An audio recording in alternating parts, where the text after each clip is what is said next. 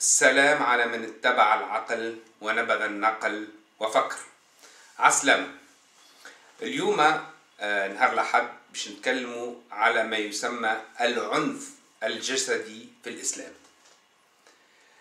آه، قبل ما نبدأ للحديث عن العنف الجسدي في الإسلام نحاول باش نبين حاجة جدا مهمة إن الإسلام لا يختلف على أي إيديولوجية أخرى أو دين إنه ينبثق من البيئة التي ظهر فيها والزمان اللي ظهر فيه.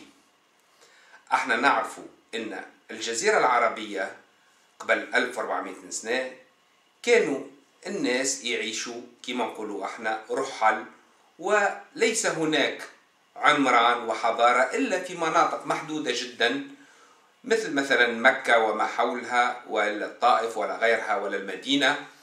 وأن ممارسة العنف الجسدي هي حالة طبيعية في تلك المنطقة. فقبل الإسلام لا تسمح الظروف أن تكون هناك قوانين تسجن الأشخاص مثل مثلا في فارس ولا في بيزنطة ولا في المناطق الأخرى فين فما الحضارة والبنيان. فكان نوع العقاب هو جسدي أكثر شيء ممكن. يعني مثلا قطع اليد أو القتل يعني حالة موجودة آه، في الجزيرة العربية قبل الإسلام.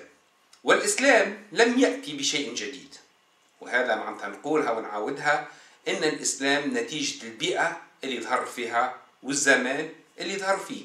نرجع لأي قانون أو قاعدة موجودة في الإسلام إلا ونلقى لها جذور سواء في منطقة الجزيرة العربية أو ما حولها. يعني محمد ما جاب حتى شيء جديد.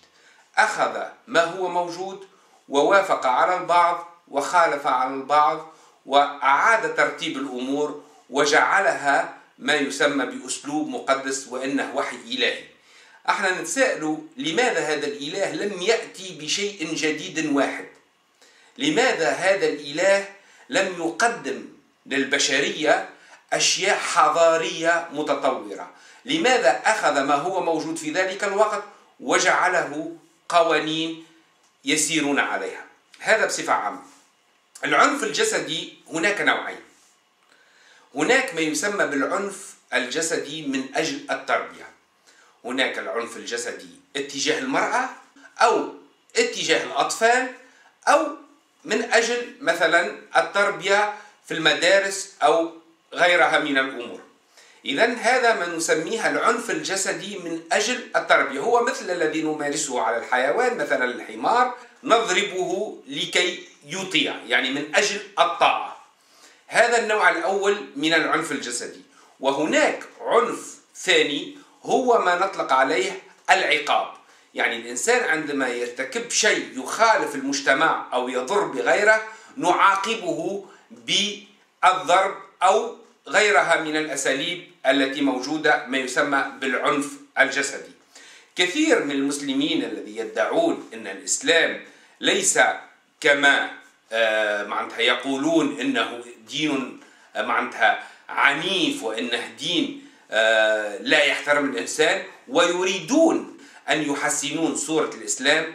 تلقاهم يقول لك اللي هذيك الأمور اللي موجودة في الإسلام مثل الرجم. مثلا يقول لك الرجم مش موجود في القرآن. فهمت؟ يعني ينكروا الرجم رغم اللي معناتها عمر قال فهمت؟ الآية هذه معناتها لم معناتها ذكرها قال فهمت؟ والشيخ والشيخة إذا زنا فاقتلوهم البتة وإني لم أكتبها في القرآن. وغيرها من الأحاديث التي تؤكد أن محمد تكلم عن الرجل باهي إحنا ما نحبوش ندخلوا في متاهات يعني لا نهاية لها. نحاولوا باش نختصروا على القرآن بحد ذاته. يعني القرآن بحد ذاته تكلم على العنف الجسدي في عدة مواقع سواء في في الجلد سواء في قطع يد السارق سواء في ضرب المرأة. يعني هذوما ثلاثة أشياء مهمة والرابعة لمن يحارب ما يسمى الله ورسوله أن تقطع معناتها يديه معناتها من خلاف معناتها معروفة الآية وأن يصلب يعني هو نوع من العقاب الجسدي. اذا هون نحاولوا باش نفهموا الموضوع باش نجموا نحكموا عليه فهمت؟ يعني خطر إحنا وقت نتكلموا على الإسلام لا نريد أن ننقل إلا الحقيقة. صحيح فما هناك من يريد أن يعطي للإسلام وجهة نظر جديدة وهي محاولات في الحقيقة فاشلة ولا تبرأ الإسلام لأن مصدر العنف والعنف والعقاب ما يسمى العقاب أو العنف الجسدي متأصل في القرآن نفسه. فهمت؟ متأصل في القرآن نفسه. يعني في الآية القرآنية مثلا نضرب لك مثال مثلا على نشوز المرأة.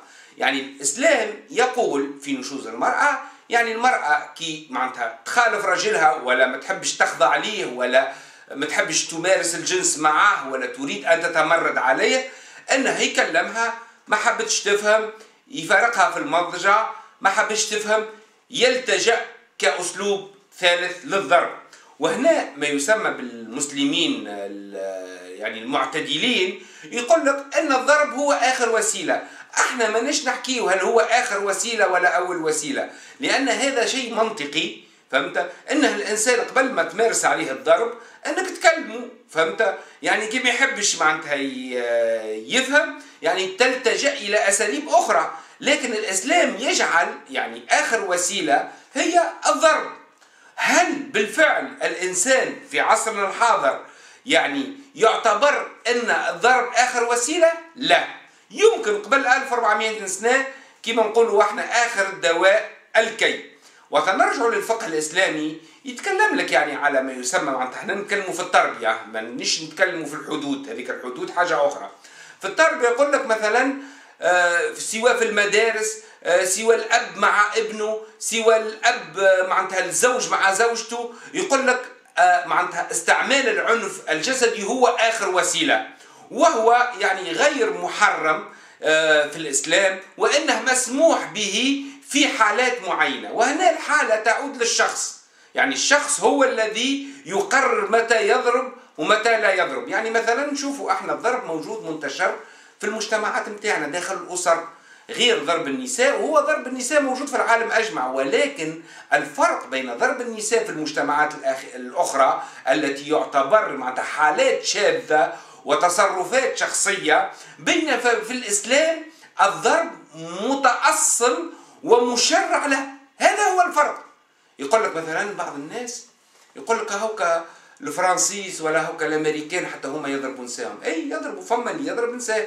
أما هل هو عندما يضرب مرته أو يضرب ولده يعتمد على مصدر آه، ديني أو تشريعي؟ لا. يمارس ذلك لأنه هو طبيعته عنيفة وهو إنسان يعني معناتها نجم نقولوا آه نجم نقولوا مثلا في الغرب إنسان يعني مصاب بمرض نفسي. فهمت؟ يعني مصاب بمرض نفسي. لا يمكن أن نقول عليه إنه إنسان عادي. إنسان يضرب زوجته ولا يضرب ولده ولا يضرب إنسان حتى ما يعرفوش في الشارع. حتى إنسان ما يعرفوش في الشارع عندما يضرب نقولوا هذا إنسان مصاب بنوع من العنف. بينما في الإسلام التشريع للضرب موجود داخل المصدر داخل المصدر القرآني وداخل المصدر الإسلامي. إحنا نعرفوا معناتها في المدارس القرآنية كيفاش اللي يقرأ في المدارس القرآنية في تونس توا ما عادش. يعني كيفاش معناتها يتم ضرب الأطفال؟ وفي المدارس يتم ضرب الأطفال. وحتى توا يعني في السعودية ولا في موريتانيا وفي كثير من الدول آه، بين قوسين العربية الإسلامية ما زالت التعليم يعتمد على الضرب. يعني ولا يجرم القانون هذه المسألة لأن الإسلام موجود فيه مسألة الضرب. يعني كلمة الضرب موجودة في القرآن. واضربوهن. فهمت؟ صحيح هي معناتها كما قلت لكم يعني آه، آخر مرحلة ولكن غير مذموم. يعني هذا إله الإسلام إله محمد يعني يسمح بالضرب لأنه لا يعرف شيئا آخر. لأن الإسلام ظهر عنده 1400 سنة في منطقة الجزيرة العربية لا يعرف علم النفس. ولا يعرف آه، أشياء أخرى لعلاج هذه المشكلة. لهذا وهذا يدل على أن الإسلام لا يمكن أن يكون إلهي. يعني إله يعلم الغيب ويعلم المستقبل ويعلم كل شيء ويعلم طبيعة الإنسان. لماذا مثلا الإسلام لم يأتينا بأساليب أخرى؟ يعني يمكن توا معناتها إحنا نستعملوا فيها كما مثلا علم النفس كما محاولة الحديث يعني وفهم الطرف المقابل وعلاجه نفسيا. فهمت لماذا لم يمارس؟ لم يأمر منا هذا الشيء. لأنه لا يعرف هذه الأشياء لا يعرف علم النفس. في ذلك الوقت لا يعلمون علم النفس. إذا مسألة الضرب كتربية سواء للزوجة أو آه، للابن يعني نشوف مثلا الحديث يقول لك معناتها علموهم الصلاة في سبع واضربوهم في عشر. يعني الضرب موجود للطفل الصغير. هنا الإسلام ما نجموش حتى هذوما ما يسموا المسلمين المعتدلين ما نجموش ينكروا الأحاديث هذه كلها اللي موجودة حول مسألة الضرب وما نجموش ينكروا آيات قرآنية واضحة حول معناتها ضرب المرأة يقول لك هوكا يضربها بالسواك يا ولدي حتى ولو يهز يده ما يضربهاش. ليس من المنطق فهمت؟ أن الإنسان يستعمل هذا الأسلوب لأن هذا الأسلوب ما يسمى بالضرب إحنا نشوفه في الدول المتحضرة حتى الحيوان ما عادش نضربوه يعني فما بالك بالإنسان اللي معناتها في الدول نتاعنا مازال آه، الوليد يكوروا به وليد صغير تشوف بوه يكور به ولا أمه تكور به يعني تضربه بطريقة معناتها بشعة جدا. وفي المدارس في المدارس والمدارس القرآنية صحيح في تونس توا ولات الأمور معناتها أكثر آه، معناتها قانونية ولكن في كثير من الدول الأخرى الضرب هي قاعدة أساسية موجودة. حتى العنف معناتها في الشارع يعني واحد يتعارك مع واحد ديريكت يضربه مباشرة يضربه ما يعرفش يتكلم معاه. وهو هذا أسلوب نجم نقول أنا من بقايا الحيوان. الحيوان هذا تصرف حيواني. وجاء الإسلام وأكد هذا التصرف الحيواني. يعني لم يحاول أن يرقى بالإنسان إلى مستوى الإنسانية التي وصلت إليها الآن مع تبع علم النفس وغيرها. يعني هذا في مسألة التربية. الإسلام لم يفلح في علاج المشاكل لأنه جعل الضرب أحد وسائل التربية سواء في التعليم سواء في في داخل الأسرة معناتها في تربية الأولاد وفي التعامل مع الزوجة أو حتى في التعامل يعني العام في المجتمع. فالعنف هذا اللي موجود نلقاه معناتها موجود في الدول نتاعنا بطريقة غريبة جدا واللي نلقاوه في دول أخرى لكن أقل حدة وغير مشرع فالضرب مشرع في الإسلام وإن لم أقل مشرع يعني كتربية فهو مسموح به ولم يم ولم يمنعه الشرع الإسلامي. هذا جهة. الحاجة الثانية هي مسألة ما يسمى بالعقاب.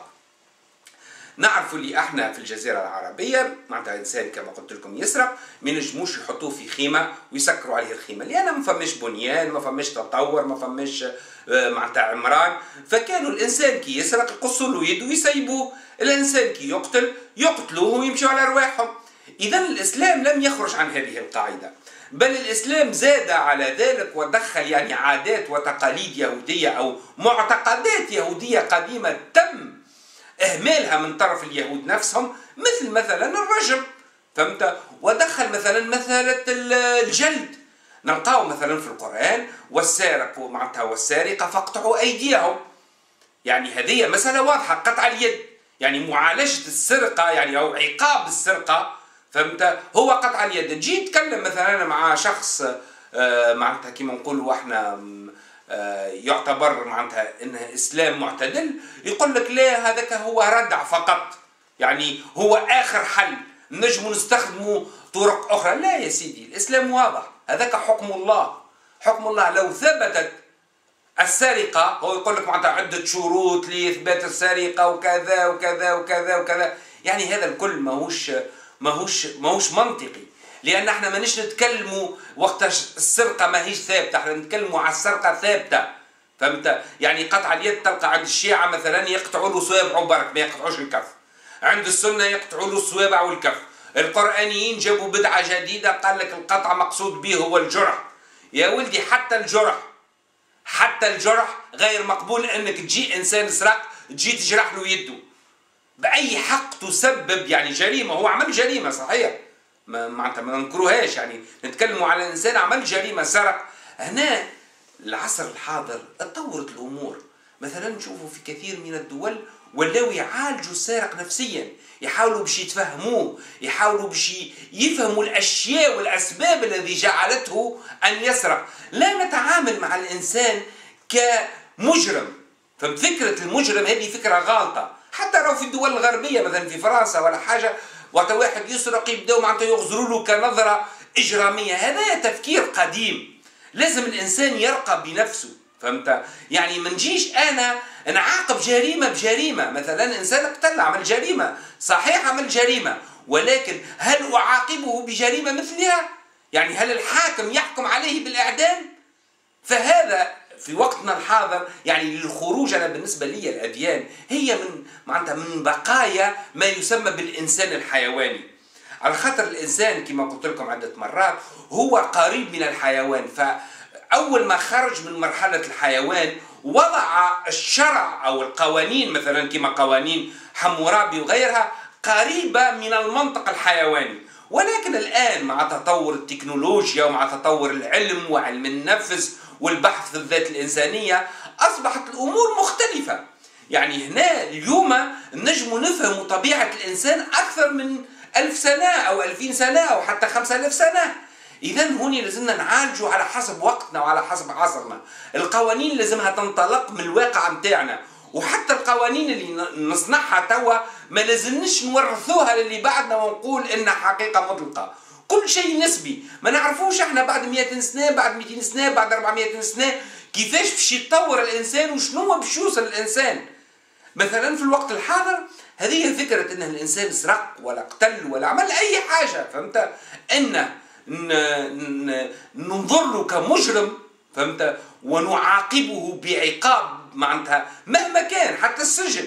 حتى السجن يعني يمكن في حالات معينة لبعض معناتها المجرمين مثلا الخطيرين أنهم يتم عزلهم عن المجتمع. فهمت؟ فكرة السجن وفكرة العقاب وفكرة الانتقام وفكرة القتل هذه كلها أفكار مع الأسف لا تعتبر الآن إنسانية بل هي من بقايا الإنسان الحيواني. ونجد الإسلام يعني يتفنن في هذه المسألة. يعني الإسلام يعني تجاوز يعني أعتبر أشياء معناتها لا تعتبر جريمة اعتبرها جريمة. به وقت نتكلموا على قطع يد السارق وقتل القاتل. آه كما يقول لك مثلا يقول لك هيك أمريكا تقتل. أمريكا عمرها ما كانت مثل. روحنا وقت ننظروا للحكم ننظروا له مجرد. مش شكون عمله ولا شكون ما عملوش اللي عمله يعتبر غير متطور انسانيا. وأمريكا غير متطورة انسانيا في هذه المسألة. فهمت؟ يعني مش لازم تبرر الإجرام نتاعك بإجرام واحد آخر قام به شخص آخر. هذه المسألة لازمنا نفهموها. راهي أمريكا ماهيش مثل وروا أحنا كدول بين قوسين عربية إسلامية لازمنا نشاركوا الإنسانية ونجيبوا أفكار جديدة. معاملة المجرم كمجرم هي فكرة خاطئة. يجب أن نعامله كحالة اجتماعية. نحاول, نحاول نعامله كحالة نفسية. مثلا نشوف مثلا في الدول المتحضرة كثيرة تلقى مثلا كده فما مشكلة يلجؤون إلى طبيب النفس. إحنا في الدول متاعنا مع الأسف أول حاجة أطباء النفس آه، كيما نقولوا إحنا ما يصلحوا لشيء. قديش من واحد مشى لطبيب النفس يقول له أقرأ القرآن؟ أو يمشي لطبيب النفس يقول له أقرأ الدعاء. فهمت؟ آه معناتها هذا معناتها يعني هذوما ما همش أطباء نفس هذوما. هذوما ما همش أطباء نفس ما عندهم حتى علاقة بعلم آه، النفس. علم النفس راهو علم صحيح. فهمت؟ يدرس شخصية الإنسان وطبيعة الإنسان ويحاول يتفاهمه ويحاول معناتها يجد معناتها حلول. فالإسلام غير مثلا قطع اليد و... والقتل مثلا يتدخل في الحياة الاجتماعية بتاع الأشخاص. مثلا يقتل المثلي فهمت؟ ويتفنن في قتله. فهمت؟ يقول لك أرميه من ح... من مكان شاهق أو اسقط عليه حاد. هذه أساليب جدا منحطة في التعامل مع المثلية. المثلية أصبحت مسألة يعني هي موروثة نوعا ما يعني عندما يعني نرجع الإنسان يعني يولد مثليا. فما أشخاص يولدوا مثليين وما يحبوش يعترفوا إنهم مثليين. هذه معناتها موجودة لأن نتيجة المجتمع وضغط المجتمع ونظرة المجتمع. هذه مسألة مسألة مثلا العلاقات الجنسية للبالغين. مثلا يعتبر مثلا الإسلام إنسان مارس الجنس مع شخص دون عقد زواج يعتبر زنا ويرجم أو يجلد فهمت؟ يقول لك الزاني والزانية فاجلدوهم 100 جلدة أو شهادة الزور 80 جلدة. كل الأساليب والقوانين والحدود الإسلامية هي معناتها حدود تعتمد على ما يسمى بالعنف الجسدي. فهمت؟ حتى مثلا وقت يتكلم حول مثلا الذي يحاربون الله ورسوله يعني يقول لك أصلبهم واقطع أيديهم من خلاف وأرجلهم يعني كلها يعني يعني حتى هذوما ما يسمى بالمسلمين المعتدلين اللي يحاولوا يدافعوا عن الإسلام هذه آيات قرآنية. هذه آيات قرآنية تتكلم على الصلب وتتكلم على قطع الأيادي والأرجل وتتكلم على الجلد وتتكلم على قطع اليد. وتتكلم على واضربوهن. إذا هذه كلها آيات قرآنية يعني من المفروض صادرة من عند إله فهمت؟ ولكن أنتم تشوفوها كيفاش هذه تدعو للعنف الجسدي اللي توا في الوقت الحاضر ما عادش يصلح هذا الشيء. اذا أنا اللي حبيت نوصله من هذه الفكرة معناتها أن الإسلام راهو نتيجة الظروف والوضع والمكان والزمان الذي ظهر فيه. ويمكن إحنا ما نعرفوش ظروفه ما نعرفوش ظروف الإسلام كيفاش ظهر مع ان حتى معلومة. إحنا وصلت لنا كتب. ولكن إحنا الآن عندما نحب نحلوا مشاكلنا الاجتماعية أو تنصيص قوانين هل إحنا مجبورين باش نرجع للتشريع الإسلامي الذي ظهر قبل 1400 سنة؟ والذي ظهر في الجزيرة العربية؟ لا. مانيش مجبورين. إحنا مثلا في تونس ولا في شمال إفريقيا هناك دراسات الآن حديثة. هناك دراسات حديثة تبحث مسائل معناتها هذه المسائل نفسيا وعلميا وهناك إحصائيات وهناك عدة أشياء. يعني يمكن أن نعود إليها لتنصيص القوانين. ماناش مجبورين باش نرجعوا للقرآن. بعضهم يقول لك لا نحاولوا نأولوا القرآن. علاش أنا نأول فيه القرآن؟ علاش أنا عندي حكم واضح ونحاول نلصقه بالقرآن بالسيف علاش؟ علاش ما ناخذش الحكم هذاك كمصدر تجريبي علمي آه، معناتها جربته الإنسانية وتعاملت فيه. اذا العقاب أو ما يسمى العنف الجسدي سواء معناتها في التربية أو كوسيلة للعقاب يعني فكرة العقاب هي فكرة خاطئة أصلا أو في التعامل مع الناس أو العنف بصفة عامة. حتى الحروب أنا ضد الحروب مهما كانت. يعني الحروب اللي توا مثلا المناطق اللي فيها الحروب هي المناطق نتاعنا مع الأسف. العالم قاعد يفكر في حاجة أخرى. وإحنا مازلنا نفكروا في الحروب وحرب آه، آه، الفرس والعرب الشيعة والسنة اليمن سوريا آه، فهمت ليبيا. يعني إحنا شعوب مازلنا مع الأسف عايشين في مرحلة الإنسان الحيواني ومازلنا معناتها نفكر بتفكير بتفكير يعني إن العنف يمكن إن يكون وسيلة للوصول إلى أهداف معينة، عمره ما كان العنف واستعمال العنف مهما كان سواء في العقاب، سواء في التربية، سواء في كل شيء، فهمت؟ هو الحل. لو نريد أن يكون هناك صراع يجب أن يكون هناك صراعا فكريا لأن الإنسانية انتهت من مرحلة ما يسمى الإنسان الحيواني وداخلة في مرحلة جديدة اسمها الإنسان الإنساني. فأي إنسان مازال يؤمن بالعنف مهما كان حتى ولو في الحروب ولو حتى في الحروب ما يسمى بالحروب الرسمية فهو إنسان ما زال في مرحلة الإنسان الحيواني. والإنسان الذي يتخلى كليا على العنف سواء في التربية سواء في العقاب أو في الجرائم أو في الحروب فهو إنسان انتقل إلى مرحلة الإنسان الإنساني وهنا دخل في مرحلة جديدة اللي هو الصراع للفكرة وللأفكار دون عنف مهما كان وخاصة خاصة خاصة العنف الجسدي. نظن المسألة واضحة ومع فيديو قادم وبسلام.